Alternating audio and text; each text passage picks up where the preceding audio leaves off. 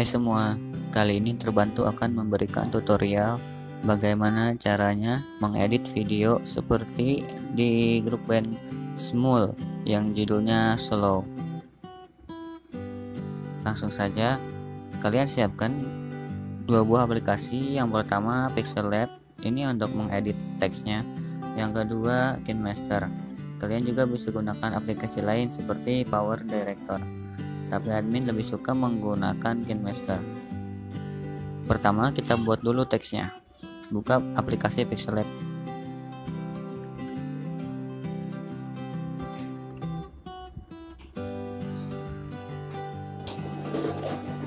Nah, bagian di sini kalian masukkan teksnya.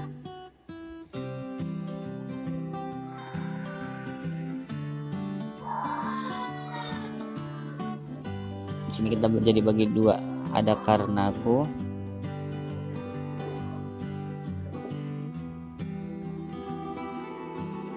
sama slow. Nanti slownya kita bikin yang kedua. Nih di kata pertama ini karena aku kita buat dulu fontnya seperti yang di video small caranya kita klik ikon bawah yang ada huruf A nya kita cari di sini font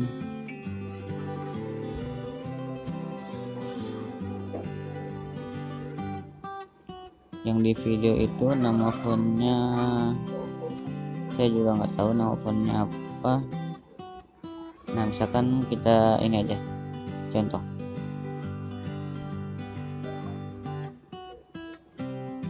Kita ukurannya perbesar. Kira-kira seperti ini.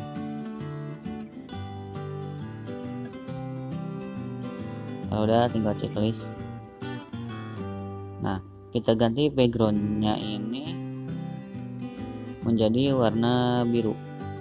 Klik klik menu yang ada di bawah sebelah kanan yang kedua. Pilih color kemudian pilih warna biru. Kenapa warna biru? Karena biar kita bisa menghilangkan warna birunya itu. Jadi fungsinya sama seperti green screen. Sebenarnya sebenarnya bisa juga warna hijau tapi admin sepertinya akan menggunakan warna biru aja misalkan ini.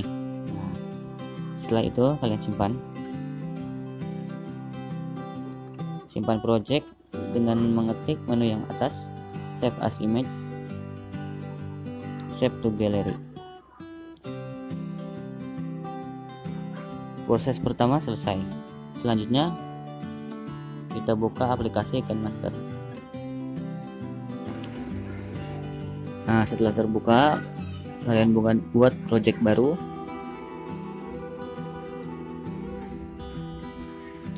Kalian masukkan foto yang tadi dibuat di Pixel Lab. Tulisan yang tadi ada di Pixel Lab. Ini dia. Oke.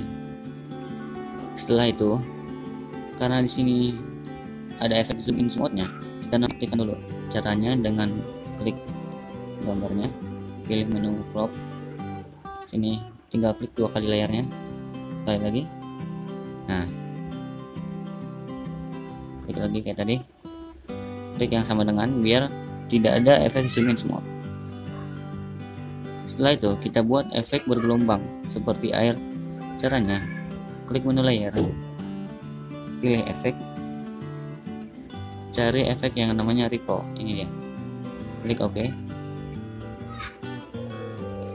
Perbesar ukuran sampai menutupi huruf tersebut. Nah nanti hasilnya seperti ini.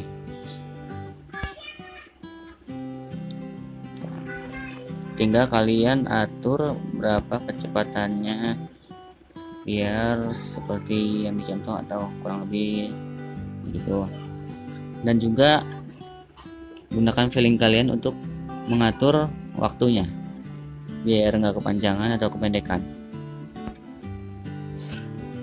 Mungkin karena aku karena aku ini hanya butuh waktu 2 detik. Satu detik segini mungkin.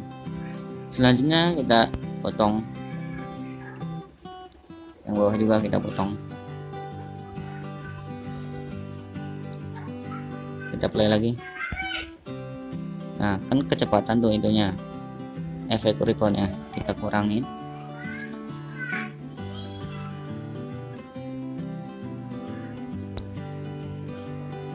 Nah mungkin cukup segitu setelah itu kita simpan video tersebut.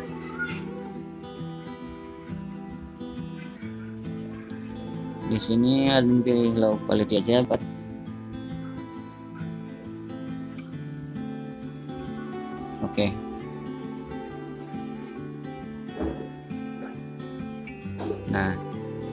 satu kata sudah jadi tinggal kita buat kata selanjutnya. Caranya sama seperti yang tadi.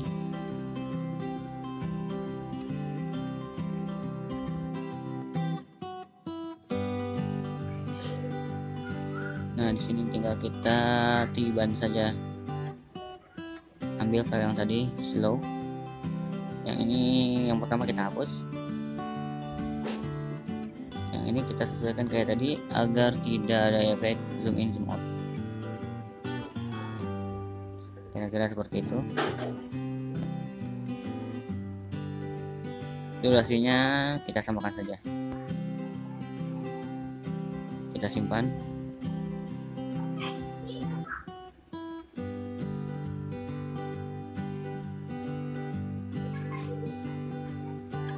Oke. Langsung kita buat videonya. Kembali ke halaman utama, buat new project lagi, empty project. Pilih video yang akan kalian jadikan background. Bebas mau video atau foto. Di sini admin gunakan foto saja.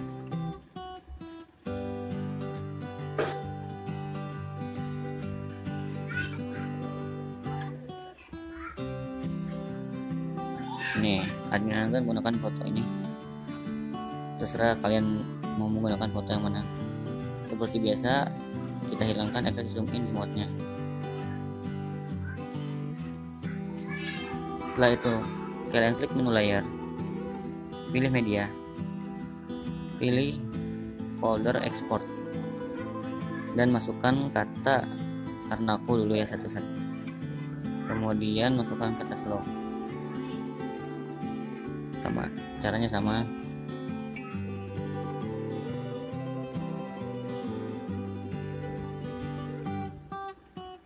Nah setelah itu kita masukkan musik slownya.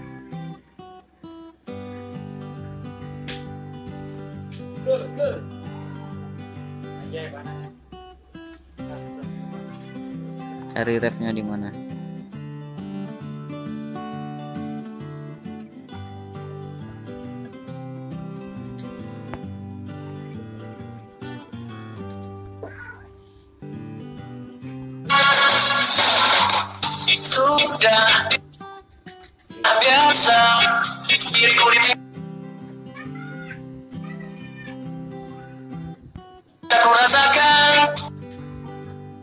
itulah ini konten oh, karena nah udah refnya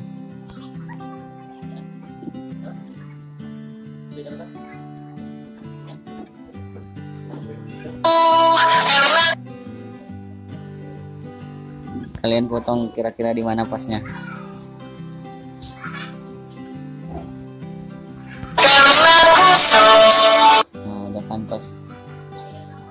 tinggal kalian pasin kata-katanya caranya tinggal kalian drag Oh, gitu ya. Dia tuh pilih lagunya. nah tinggal share tinggal pas-pasin aja pokoknya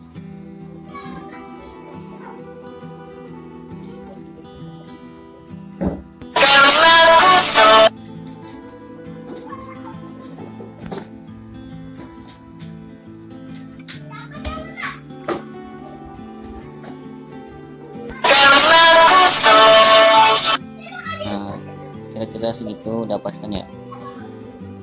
Selanjutnya untuk menghilangkan birunya ini kalian klik video teksnya. Kalian pilih menu chroma key kemudian enable. Atur ukuran sesuai selera kalian. Untuk yang slow sama juga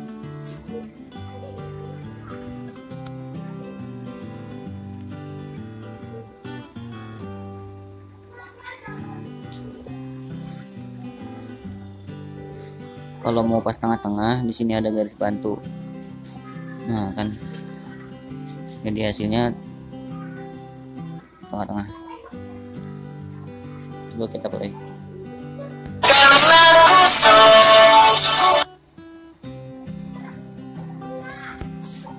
Sini.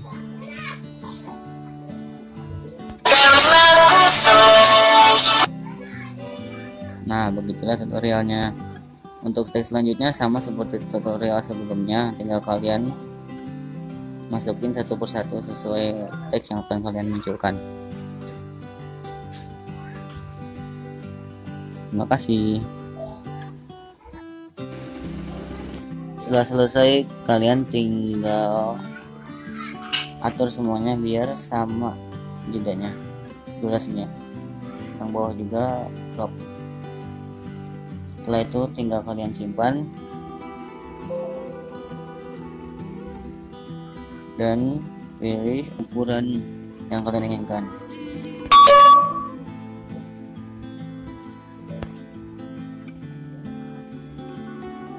Selesai kita lihat hasilnya